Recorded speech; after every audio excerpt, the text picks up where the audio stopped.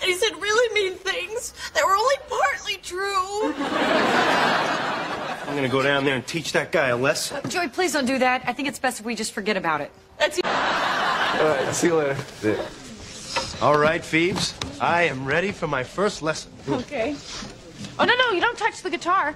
No, no. First you learn here, then you learn here. That's it. Oh, oh, oh, you're not gonna use the payphone to call work, are you? No. I've learned my lesson. Let's go. Come on, move B, come on. Joey, just ignore the boats, all right? We're not finished with our lesson yet.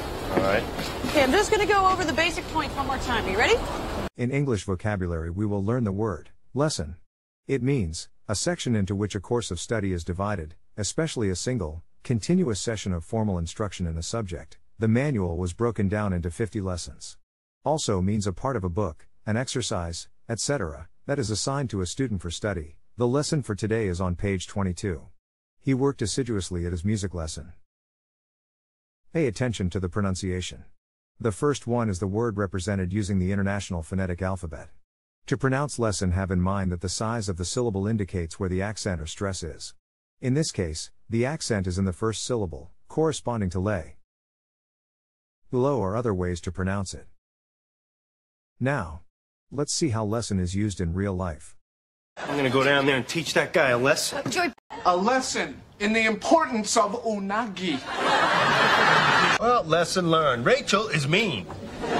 Well, okay, let this be a lesson to all of you, all right? We're Not finished with our lesson yet. All right. Okay, I'm just gonna go. You know what? I'm just gonna take it all away, because that way you'll just really learn the lesson, okay? All right, Phoebes, I am ready for my first lesson. Thank you for teaching me a valuable lesson. No.